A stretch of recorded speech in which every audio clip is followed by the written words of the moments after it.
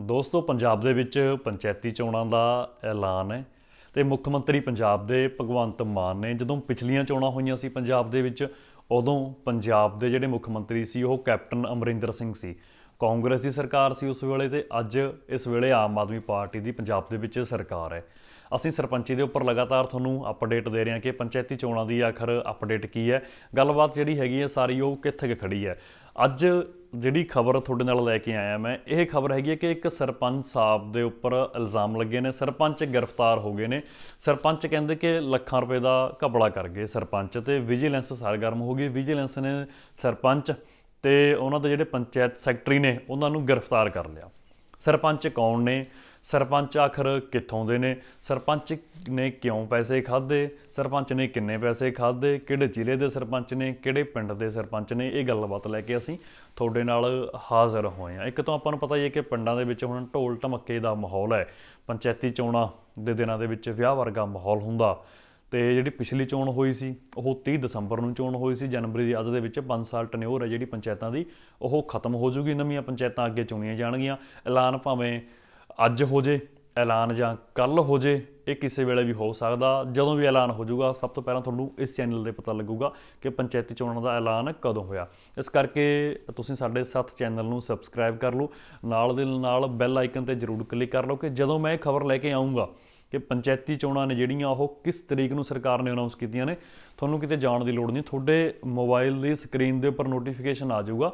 ਕਿ ਪੰਚਾਇਤੀ ਚੋਣਾਂ ਬਾਈ ਇਸ ਤਰੀਕ ਨੂੰ ਹੋਣ ਵਾਲੀਆਂ ਨੇ। ਤੁਹਾਨੂੰ ਘਰ ਬੈਠਿਆਂ ਨੂੰ ਹੀ ਪਤਾ ਲੱਗ ਜਾਊਗਾ ਕਿ ਪੰਚਾਇਤੀ ਚੋਣਾਂ ਕਦੋਂ ਹੋਣਗੀਆਂ। ਸੋ ਮੈਂ ਗੁਰਜਿੰਦਰ ਸਿੰਘ ਪੰਗੂ ਹੁਣ ਤੁਹਾਨੂੰ ਲੈ ਕੇ ਚੱਲਦਾ ਅਗਲੀ ਖਬਰ ਵੱਲ। ਖਬਰ ਕੀ ਹੈ ਦੋਸਤੋ? ਪੰਜਾਬ ਦਾ ਇੱਕ ਜ਼ਿਲ੍ਹਾ ਜ਼ਿਲ੍ਹਾ ਸੰਗਰੂਰ। ਦੇਖੋ ਕਿ ਇੱਕ ਕਹਾਵਤ ਵੀ ਬਣੀ ਹੋਈ ਹੈ ਕਿ ਮੇਰਾ ਕੀ, ਸਾਡਾ ਕੀ ਕਸੂਰ ਦੇ ਸਾਡਾ ਜ਼ਿਲ੍ਹਾ ਸੰਗਰੂਰ। ਤੇ ਉਸੇ ਜ਼ਿਲ੍ਹੇ ਸੰਗਰੂਰ ਦਾ ਇੱਕ ਪਿੰਡ ਹੈ, ਪਿੰਡ ਅਲਾਲ। ਉਸ ਅਲਾਲ ਪਿੰਡ ਦੇ ਇੱਕ ਸਰਪੰਚ ਸੀ ਸਰਪੰਚ ਸਰਬਜੀਤ ਸਿੰਘ। ਉਹਨਾਂ ਦੇ ਇੱਕ ਪੰਚਾਇਤ ਸੈਕਟਰੀ ਸੀ, ਪੰਚਾਇਤ ਸੈਕਟਰੀ ਦਾ ਨਾਮ ਸੀ ਨਰੇਸ਼ ਕੁਮਾਰ।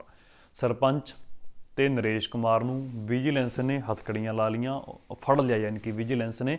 ਉਹਨਾਂ ਦੇ ਉੱਪਰ ਇਲਜ਼ਾਮ ਹੈ। ਇਲਜ਼ਾਮ ਕੀ ਹੈ?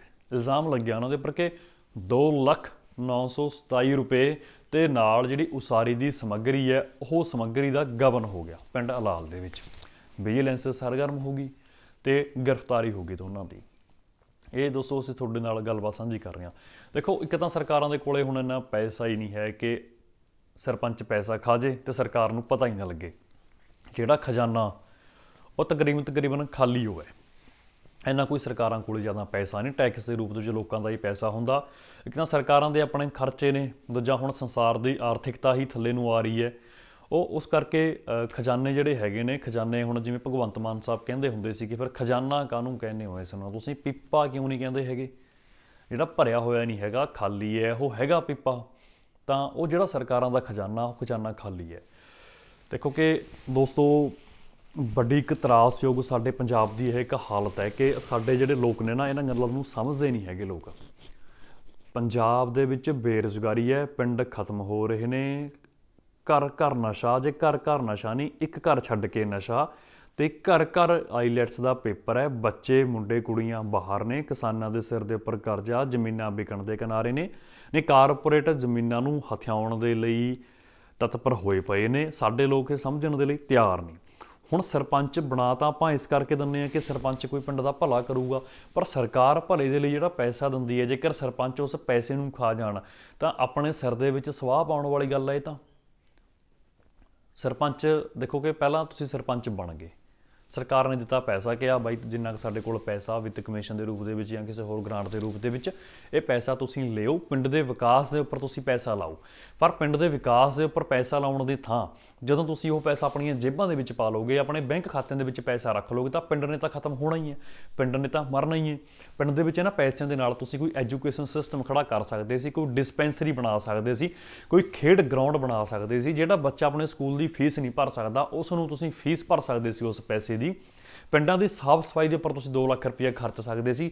ਹੁਣ ਫਾਇਦਾ ਹੋਇਆ ਕੋਈ? ਬਦਨਾਮੀ ਵੀ ਹੋਈ, ਰਿਸ਼ਤੇਦਾਰਾਂ 'ਚ ਬਦਨਾਮੀ ਹੋਈ, ਪਿੰਡ 'ਚ ਬਦਨਾਮੀ ਹੋਈ ਸਹਿਚਾਰ ਵਿਗੜਿਆ ਆਪਣਾ ਵਿਜੀਲੈਂਸ ਆਪਾਂ ਨੂੰ ਫੜ ਕੇ ਲੈ ਗਈ ਜੇਲ੍ਹ ਆਪਾਂ ਜਾਵਾਂ ਕੇਸ ਦਾ ਆਪਾਂ ਸਾਹਮਣਾ ਕਰਾਂਗੇ। ਫਾਇਦਾ ਹੋਊਗਾ ਇਹਨਾਂ ਚੀਜ਼ਾਂ ਦਾ ਕੋਈ? ਕਿਉਂ ਨਾ 2 ਲੱਖ ਰੁਪਏ ਆਪਾਂ ਨੇ ਪਿੰਡ ਦੇ ਵਿਕਾਸ ਦੇ ਉੱਪਰ ਲਾਇਆ ਹੁੰਦਾ, ਉਹੀ ਰਿਸ਼ਤੇਦਾਰ, ਉਹੀ ਆਪਣਾ ਸਹਿਚਾਰ ਉਹੀ ਆਪਣੇ ਆਂਢ ਗੁਆਂਢ ਦੇ ਲੋਕ, ਆਪਣੇ ਰਿਸ਼ਤੇਦਾਰ, ਨਾਤੀ, ਯਾਰ, ਬੇਲੀ, ਸਾਰੇ ਕਹਿੰਦੇ ਕਿ ਸਰਪੰਚ ਸਾਹਿਬ ਨੇ ਬੜਾ ਚੰਗਾ ਕੰਮ ਕੀਤਾ। ਯਾਰ, ਪਿੰਡ ਤਾਂ ਦੇਖੋ ਕਿੰਨਾ ਸੋਹਣਾ ਬਣਾਇਆ ਹੋਇਆ ਸਰਪੰਚ ਸਾਹਿਬ ਨੇ। ਹੁਣ ਦੇਖੋ, ਪੰਜਾਬ ਦੇ ਵਿੱਚ ਪੰਚਾਇਤੀ ਚੋਣਾਂ ਪੰਚਾਇਤੀ ਚੋਣਾਂ ਕਿਸੇ ਵੇਲੇ ਹੋ ਸਕਦੀਆਂ। ਸੰਗਰੂਰ ਦੇ ਵਿੱਚ ਭਗਵੰਤ ਮਾਨ ਸਾਹਿਬ ਕਹਿੰਦੇ ਹੁੰਦੇ ਸੀ ਕਿ ਜਿਹੜਾ 40 ਲੱਖ ਲਾ ਕੇ ਸਰਪੰਚ ਬਣੂਗਾ, ਉਹ ਸਾਡੇ ਦਰ ਤੇ ਨਾ ਆਇਓ, ਕਿਉਂਕਿ ਸਾਡੇ ਕੋਲੇ 40 ਲੱਖ ਦਾ 80 ਲੱਖ ਨਹੀਂ ਹੁੰਦਾ। 40 ਲੱਖ ਲਾ ਕੇ ਸਰਪੰਚ ਕੋਈ ਬਣੂਗਾ, ਨਹੀਂ ਬਣੂਗਾ ਕਰਪਸ਼ਨ ਪੰਜਾਬ ਦੀਆਂ ਪੰਚਾਇਤਾਂ 'ਚ ਬੰਦ ਹੋਏਗੀ, ਨਹੀਂ ਹੋਏਗੀ, ਇਹ ਚੀਜ਼ਾਂ ਸਮੇਂ ਦੇ ਉੱਪਰ ਦੇਖੀਆਂ ਜਾਣਗੀਆਂ। ਮੁੱਖ ਮੰਤਰੀ ਸਾਹਿਬ ਦੀ ਕਹੀ ਹੋਈ ਵਾਰਡਿੰਗ, ਕਿੰਨੇ ਕੁ ਸੱਚ ਸਾਬਤ ਹੁੰਦੀ ਹੈ? ਇਹ ਵੀ ਮੌਕੇ ਤੇ ਦੇਖਿਆ ਜਾਊਗਾ। ਸੱਚ ਸਾਬਤ ਹੋ ਜੇ ਕਰਪਸ਼ਨ ਪੰਚਾਇਤਾਂ ਦੇ ਵਿੱਚ ਬੰਦ ਹੋ ਜੇ 40 ਲੱਖ ਪੰਚਾਇਤਾਂ ਦੇ ਉੱਪਰ ਨਾ ਲੱਗੇ ਸਰਬਸੰਮਤੀਆਂ ਹੋਣ, ਸਰਕਾਰਾਂ ਗ੍ਰਾਂਟ ਦੇਣ, ਸਰਕਾਰਾਂ ਜ਼ਰੂਰ ਗ੍ਰਾਂਟ ਦੇਣ, ਇਹੋ ਜਿਹੀਆਂ ਪਿੰਡਾਂ ਨੂੰ ਜਿਹੜੇ ਸਰਬਸੰਮਤੀਆਂ ਕਰਨਾ ਚਾਹੁੰਦੀਆਂ ਨੇ। ਸੋ ਦੋਸਤੋ ਆ ਚੀਜ਼ਾਂ ਨੇ ਜਿਹਨਾਂ ਚੀਜ਼ਾਂ ਵੱਲ ਪਿੰਡਾਂ ਨੂੰ, ਪੰਜਾਬ ਨੂੰ ਵਧਣਾ ਚਾਹੀਦਾ।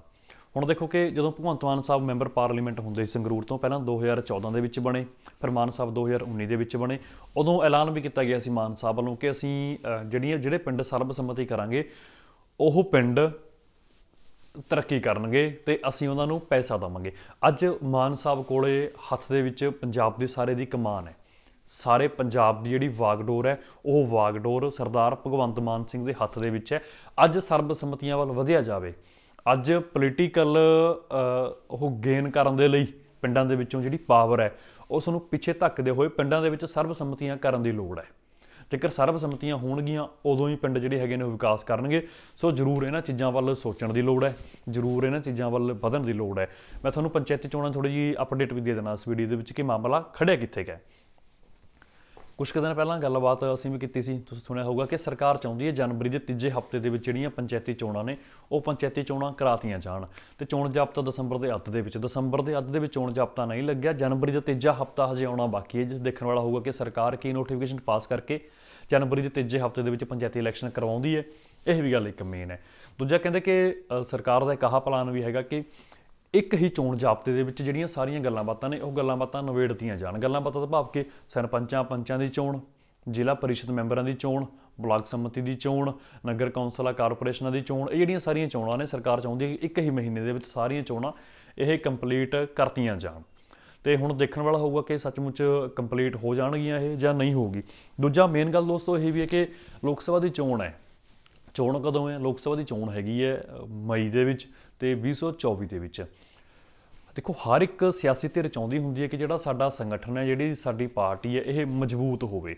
ਮਜ਼ਬੂਤ ਉਹ ਉਦੋਂ ਹੋਊਗੀ ਜਦੋਂ ਪਿੰਡਾਂ ਦੇ ਵਿੱਚ ਪੰਚ ਸਰਪੰਚ ਆਪਣੇ ਹੋਣਗੇ। ਜ਼ਿਲ੍ਹਾ ਪਰਿਸ਼ਦ ਮੈਂਬਰ ਬਲਾਕ ਸਮਿਤੀ ਮੈਂਬਰ ਬਲਾਕ ਸਮਿਤੀ ਚੇਅਰਮੈਨ, ਜ਼ਿਲ੍ਹਾ ਪਰਿਸ਼ਦ ਚੇਅਰਮੈਨ, ਕਾਰਪੋਰੇਸ਼ਨ ਬੋਰਡਾਂ ਦੇ ਚੇਅਰਮੈਨ, ਨਗਰ ਕੌਂਸਲਾਂ ਦੇ ਮੈਂਬਰ ਜਾਂ ਵਾਰਡ ਮੈਂਬਰ, ਇਹ ਸਾਰੇ ਜਦੋਂ ਸਾਡੇ ਹੋਣਗੇ ਉਦੋਂ ਜਿਹੜੀ ਹੈਗੀ ਆ ਉਹ ਸਾਡੀ ਮਜ਼ਬੂਤੀ ਹੋਊਗੀ ਸਰਕਾਰ ਦੀ ਤੇ ਹਰ ਇੱਕ ਸਰਕਾਰ ਹੈ ਧੀਰਾ ਜਿਹੜੀ ਹੈ ਉਹ ਚਾਹੁੰਦੀ ਉਹ ਦੋਸਤੋ ਉਹ ਹੁੰਦੀ ਹੈ। ਤਾਂ ਇਹ ਸਾਰੀਆਂ ਗੱਲਾਂ ਬਾਤਾਂ ਸੀ ਜਿਹੜੀ ਅਸੀਂ ਤੁਹਾਡੇ ਨਾਲ ਸਾਂਝੀਆਂ ਕੀਤੀਆਂ। ਮੇਨ ਸੀ ਕਿ ਜਿਹੜੇ 2,97 927 ਰੁਪਏ 2 ਲੱਖ 927 ਰੁਪਏ ਸਰਪੰਚ ਸਾਹਿਬ ਜਿਹੜੇ ਹੈਗੇ ਨੇ ਸਰਬਜੀਤ ਸਿੰਘ ਪ- ਸੰਗਰੂਰ ਦੇ ਪਿੰਡ ਅਲਾਲ ਦੇ ਉਹਨਾਂ ਦੇ ਉੱਪਰ ਇਲਜ਼ਾਮ ਲੱਗੇ ਨੇ। ਨਾਲ ਉਹਨਾਂ ਦੇ ਜਿਹੜੇ ਨਰੇਸ਼ ਕੁਮਾਰ ਪੰਚਾਇਤ ਸੈਕਟਰੀ ਹੈਗੇ ਨੇ ਉਹ ਵਿਜੀਲੈਂਸ ਵੱਲੋਂ ਗ੍ਰਿਫਤਾਰ ਕਰ ਲਏ ਗਏ ਨੇ ਕਿ ਆਖਰ ਤੁਸੀਂ ਇਹਨੇ ਪੈਸੇ ਦਾ ਗਬਨ ਕੀਤਾ ਤੇ ਇਹਦੀ ਹੁਣ ਜਾਂਚ ਅੱਗੇ ਸ਼ੁਰੂ ਹੋਊਗੀ। ਇਲਜ਼ਾਮ ਨੇ ਕਾਨੂੰਨ ਨੇ ਸਭ ਕੁਝ ਤੈਅ ਕਰਨਾ, ਕੌਣ ਸਹੀ ਹੈ, ਕੌਣ ਗਲਤ ਹੈ, ਇਲਜ਼ਾਮ ਕਿੰਨੇ ਕੁ ਸੱਚੇ ਨੇ, ਕਿੰਨੇ ਕੁ ਝੂਠੇ ਨੇ। ਤੁਸੀਂ ਇਹਨਾਂ ਮਾਮਲਿਆਂ ਬਾਬਤ ਕੀ ਸੋਚਦੇ ਹੋ? ਤੁਸੀਂ ਆਪਣੀ ਫੀਡਬੈਕ ਸਾਨੂੰ ਹਰ ਵਾਰ ਦੇ ਨਾਲ ਕਮੈਂਟ ਬਾਕਸ ਦੇ ਵਿੱਚ ਭੇਜ ਸਕਦੇ ਹੋ। ਧੰਨਵਾਦ।